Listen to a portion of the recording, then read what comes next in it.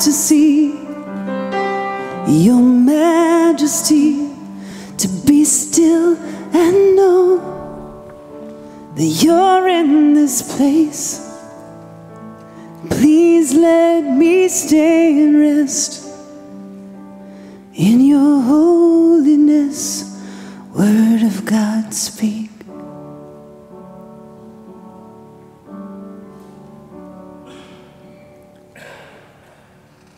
God, may your spirit move among us this day. May your grace spill over each of us with such abundance that we do not know what to do. And yet, when we are touched by that grace, suddenly we do feel your, your call, your nudge, and we desire to be the people that you are calling us to be.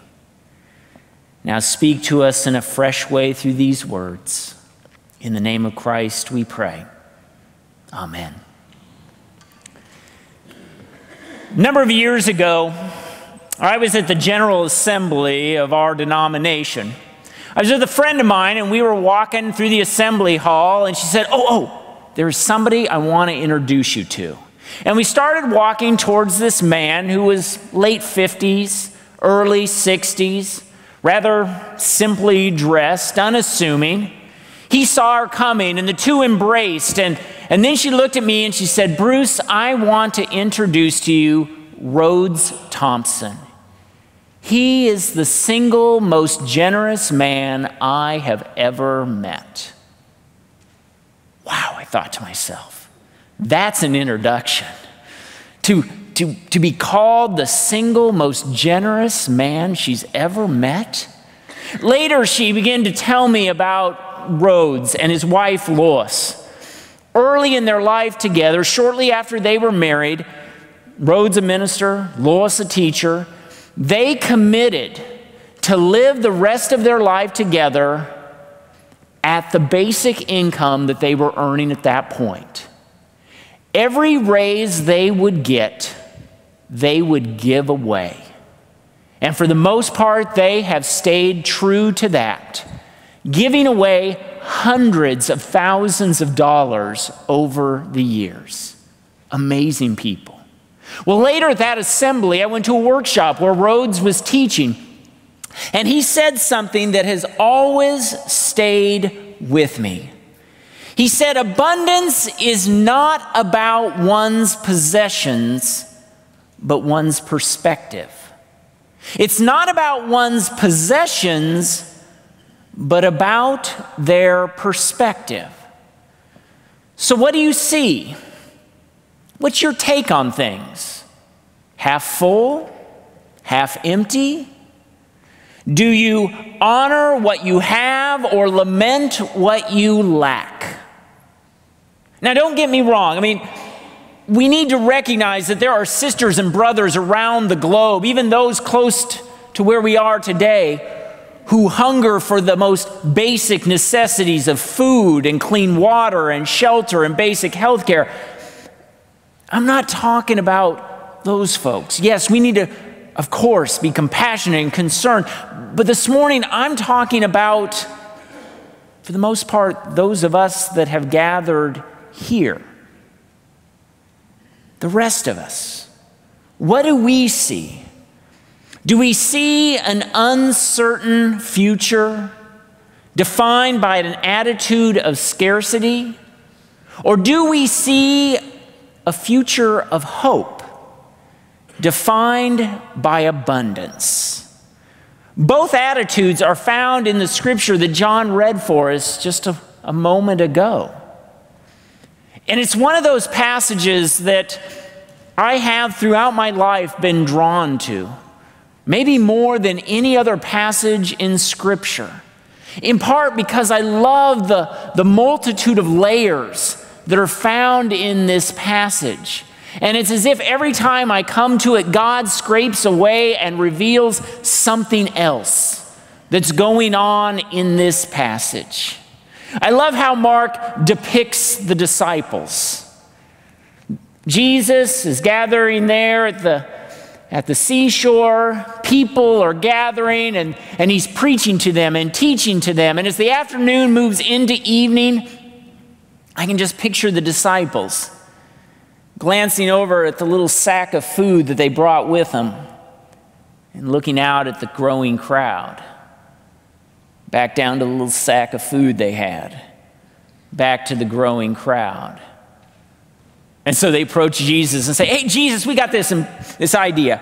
Why don't you go ahead and conclude the preaching now and, and send these folks off? I mean, there's still time to swing by Chili's or Pizza Hut to grab something to eat before the evening gets too late. Don't you think, Jesus? They sound compassionate, they sound concerned. But whose well being are they really concerned about? The people or their own well being. Come on, Jesus, you know, the Taco Bell drive throughs open up late, but still, let's, let's get these folks out of here. They're covering their own tails, or in this situation, their own stomachs. They have an attitude of scarcity. There's not going to be enough. What are we going to do? I can't get by. It's not going to happen. How many of us have been there at one point in our lives when we looked at our situation, when we looked at our circumstance, and we thought to ourselves, there is just not enough? And it's amazing how that, that opinion, that perspective, can become entrenched within us. And then in that moment, everything we look at looks as if it is coming up short, that there isn't going to be enough. Years ago, Ruffles Potato Chip had a commercial that showed two Eskimos in this vast frozen wasteland. They are the only two creatures out there. And one of them has a big bag of ruffles, and he's just sitting there.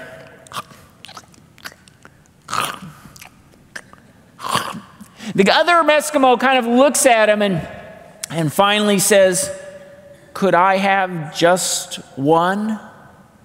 And the guy eating the ruffles looks at him and says, If I give you one, I'm going to have to give everybody else one. There's nobody else. And yet, that attitude of there won't be enough has him hoarding, has him holding on.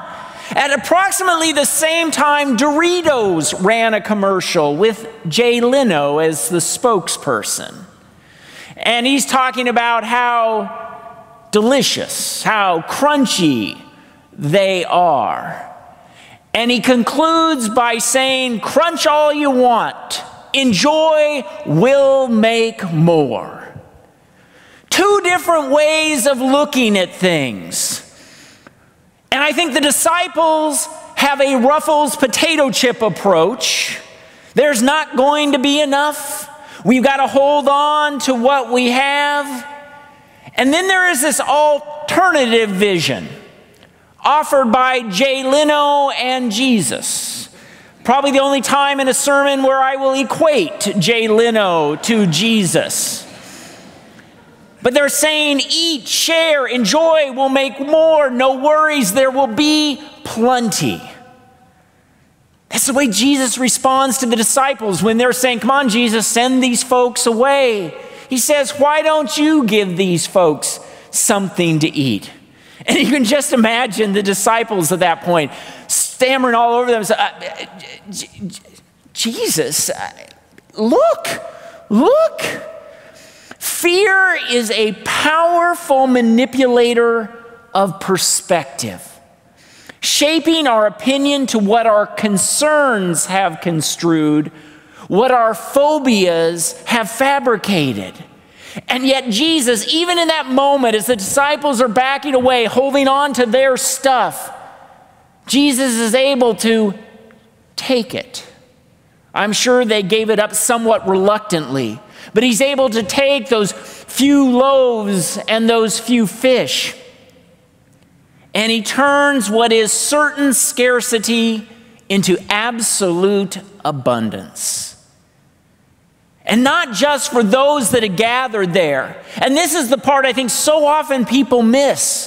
For the story goes on to say that Jesus sent out some folks to collect the leftovers 12 baskets of leftovers. And anytime you see a number in Scripture, nine out of 10 times, it's trying to tell you something. 12. The 12 tribes of Israel, all of them. 12, the 12 disciples, that was all the disciples.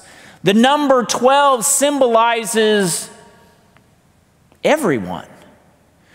So not only are there more than 5,000 that are fed that day, but there are leftovers, Mark's gospel is whispering to us, for everyone. For everyone.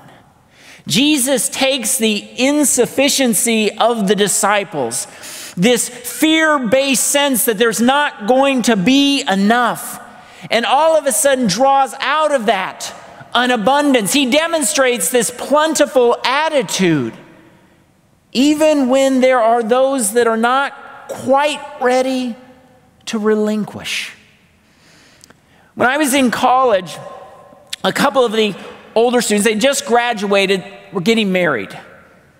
It was in February, and they were going to get married in Oklahoma City. Some of us were planning to drive over for the wedding.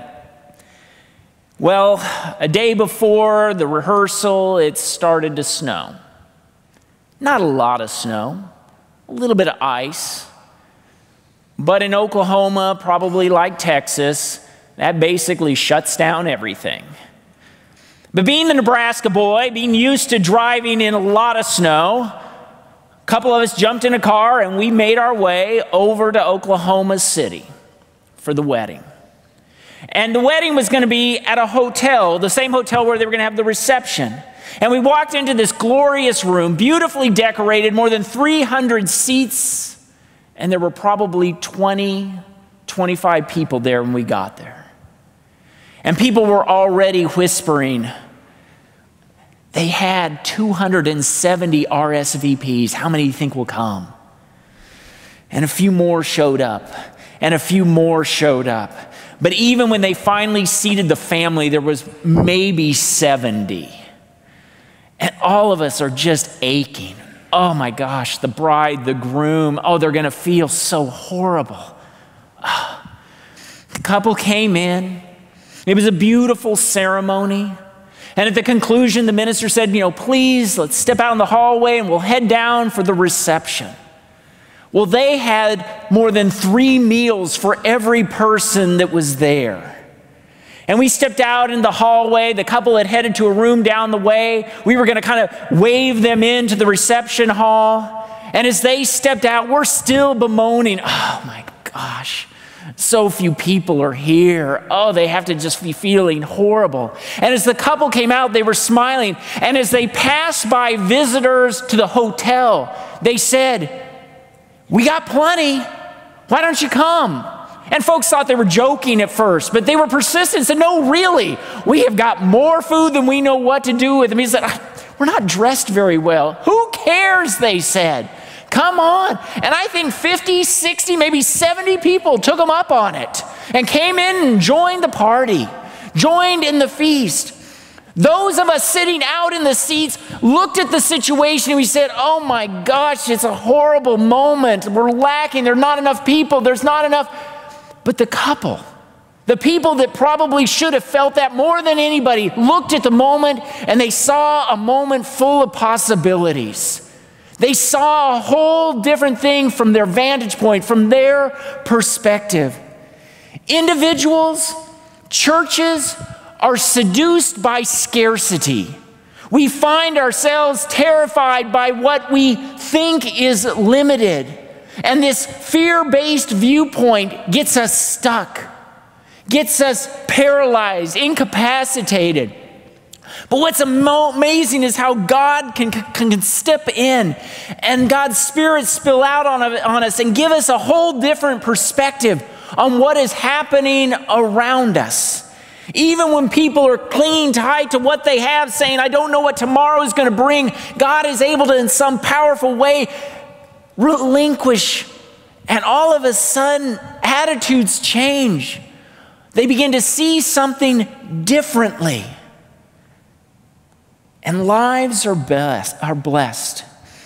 When I came to Cypress Creek Christian Church and stood down here and took your questions for an evening, and then later came back and we met over in the activity center and did a meet and greet all evening, you don't know how many people came up to me and apologized. You know, we don't have as many people as we used to have. You know, the, the money isn't quite what it used to be. You know, we used to have a larger youth program than we do now. Do you hear the attitude? Do you hear that sense of scarcity? Let me tell you, folks, when I look out right now, I don't see a community that's lacking anything. I see a group of people that are gifted, that are blessed, that are hope filled. I see people that are grabbing hold of an abundant attitude because goodness knows our world needs it. And it needs to start here, though. We need to allow the Spirit of God to move among us and to give us a different perspective, a different attitude. So, those moments when we feel cautious, when we want to grab hold onto, onto what we have, whatever it is, whether it's tangible things or love or grace, to allow the Spirit of God to sweep over us and to let go of our arms and to watch a miracle happen. Where people said there wasn't enough, suddenly there is enough. Where people said we'll, fall short, all of a sudden amazing things begin to occur. When I was a young kid, growing up, my mother would buy, and some of you will remember those eight packs of bottled Coke, 16 ounce bottles glass for those of you who are younger, they were really glass. And on, on Saturday night, mom would pull out three little juice glasses and pop open the top of the Coke, and she would pour out from one bottle, 16 ounce, evenly split between the three glasses. So just over five ounces each. And that's what I was used to on Saturday night was a five ounce glass of Coca Cola. Well, David Hammond was one of my good friends. And I don't remember this story so much, but the last time I saw his mom, Betty, she was telling me about this. That I came over to spend the night, and we were going to stay up late and watch some horror movie. And, and David said, Mom, can we have some Coke? And she came down the stairs and she said, I haven't made some frosted mugs for you. And she pulled out three mugs one for David, one for me, one for his sister Kay. They were huge. And she pulled out four bottles of Coke, popped off the lids, and began pouring them into these frosted mugs. When mine was full, she handed it to me, and I walked away as if I was holding the mother lode of carbonated beverages. It was the holy grail of soda. But behind me, David and his sister Kay started to argue. He got more than I did. No, she's got more than I did. And they started to kind of fight over it. And all of a sudden, one of them got spilled a little bit and had a little bit less. And that even caused the argument to explode more.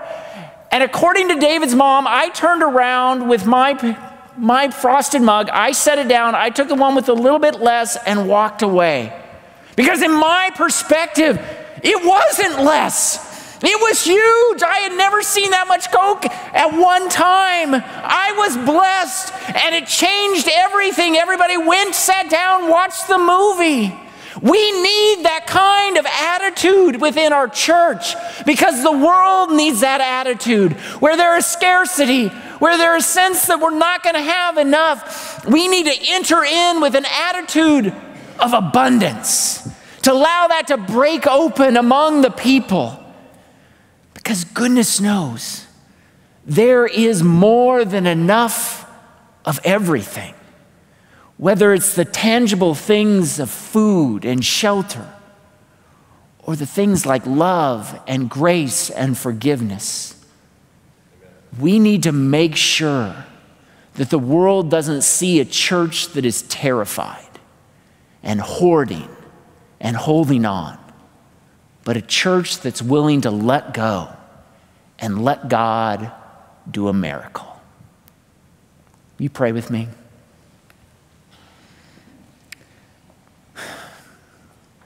Lord God, in Jesus Christ, you spread a table of welcome. Not for a few, not simply for the worthy, not for those who had it all figured out, but everyone. You make room at that table, a table of grace. And where others declare there is not enough, your faithful activity makes known an amazing perspective of abundance. God, this day we are a people that are, are trying to symbolize that abundance, not only at our communion table, but in the bread and the drink boxes we have brought. The growing number of gifts that will go to support NAM, we pray that your blessing is in them and is able to work through them so that those who are hurting, those who are feeling like they are stuck in a, in a spirit of scarcity, all of a sudden something breaks open. Hope is given, a new vision is offered. God, we pray for those in the life of our congregation who are, who are facing surgery, sisters and brothers who are dealing with illness. So often, those kinds of situations can can get a grip on us. And we begin to wonder if tomorrow can bring anything positive. God, we ask you to use us so that we might bring in that new perspective, that Jesus perspective, where there is clearly more than what we can see with our own eyes. A great abundance created in and through you. We offer these words in the name of Jesus. Amen.